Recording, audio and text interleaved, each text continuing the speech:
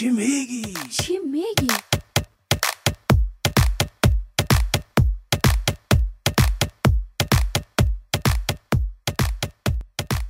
نود هشت شور یک کمی این دوستای عزیز. و امروز در بخش چی میگی؟ یکی از ستاره های افغانه با خود داریم. کسی که نامش است نواب نجمی. با خدا یاره عزیزم تو جفا کردی برایم. تو جفا کردی برایم. دل بر یک دانه مهر تو در خانه من. دل بر یک دانه من. سلام ما یلدا هستم ملال انگیز و غمگین چرا؟ هیچ هیچ هم تو. بگو با من بگو ای آشنا. چی میگی تو؟ از خاطر که خود به برنامه دعوت کردیم وقتی که شما در برنامه دعوت میشین چی احساس نداشته باشین؟ امو دقیقه آدم هوایی میشه. چی میگی تو؟ نه مقصد متوجه باشین که رادیو سو قدر هوایی هم نشین دیگه. خب شما رو دعوت کردیم که یک چند سوال ما رو جواب بدین. بفرما. چرا یک رقم وارخطا و مضطرب هستین؟ سر در گم و سرگی چمن. چی میگی؟ به خیالم که زیر تاثیر مایک رفتین. هنرمند خود زیر تاثیر نمیره. پس چی دلیل است؟ از دیدن تو.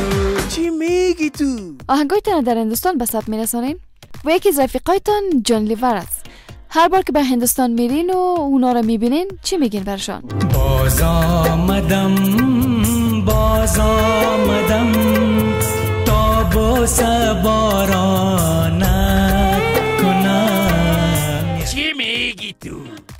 خب باز اونا چی میگن؟ با بوس مهمانت کنم یک شب. چی میگی تو؟ یک صمیمی هستین امرایش بگین که چیتان میشه. دل بر یک دانه من. چی میگی تو؟ علاقمندی را به این حد ندیده بودیم تا حاله اینه گوش کنین که یکی از علاقمندایتان به شما چی میگه. عجب صدایم داره.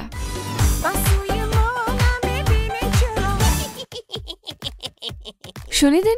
و شما برش چی گفتنی دارین؟ رو به هر سو می‌کنم در خواب می‌بینم تو را چی میگی تو خودت در جریان کارهای هنری به تاجکستان و ازبکستان هم سفر می داشته باشین میشه بگوین که شبنم سرایا در کجاست؟ در خانه من چی میگی تو یک سوال ذهنی اونجا کجاست که شهرداری کابل موترای کسافت خالی می‌کنه؟ دریا دریا دریا هی چی میگی؟ بله دریای کابل از خودت بردی و برنده شدی.